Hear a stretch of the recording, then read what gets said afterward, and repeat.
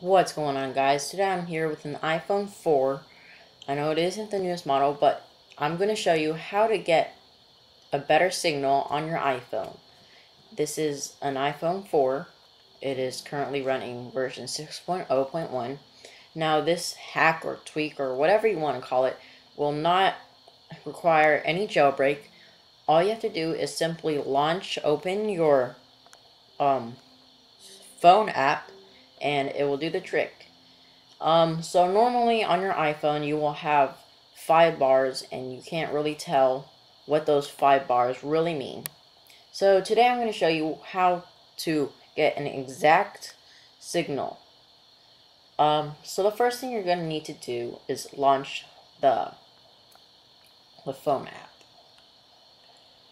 Alright. Now, it is the green phone app.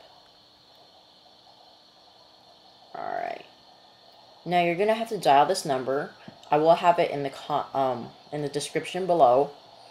Um, if you have any questions, you can ask me in the comments.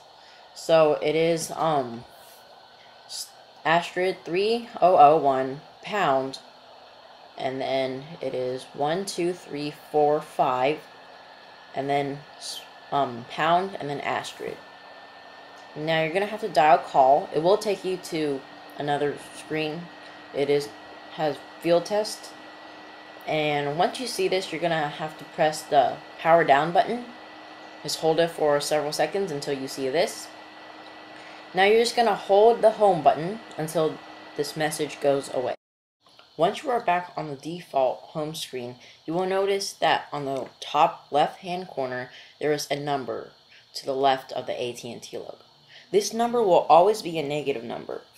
Um, anything that reads above a negative 80 is considered a good um, signal, and which is pretty much close to um, full bars.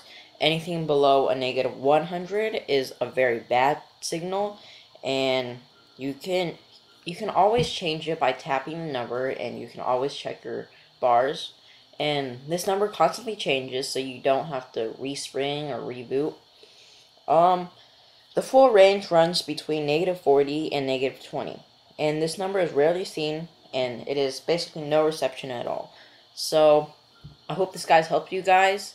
Um, thanks guys for watching, and to remove this tweak or hack or whatever you want to call it, just dial the same number again. So, star 3001 pound 12345 pounds asterisk and call. Now all you have to do is press the home button once um, and it is gone. Thanks guys for watching. This is Edward with the Apple Tips and Tricks.